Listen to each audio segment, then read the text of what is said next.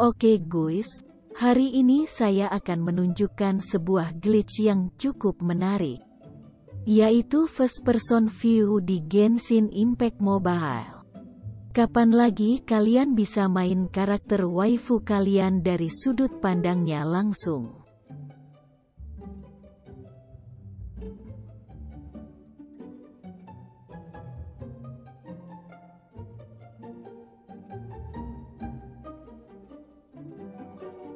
Tanpa banyak basa-basi lagi berikut caranya. Pertama kalian equip item ini.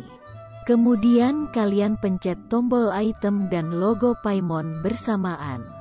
Masuk ke menu, kalian pencet tombol foto mode. Setelah masuk, disconnect jaringan paket atau wifi kalian hingga muncul tanda loading. Nah seperti ini, kemudian kalian hidupkan kembali jaringan. Tunggu sebentar.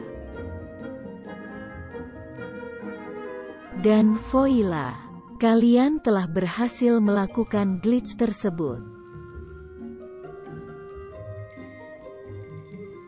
Di sini aku mencoba untuk teleport, apakah glitch tersebut masih aktif dan ternyata masih saja.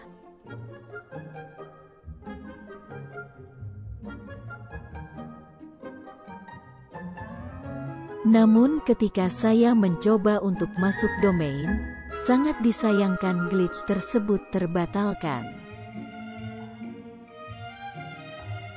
Oke itu saja. Selamat mencoba.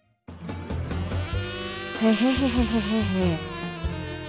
Hehehehehehe.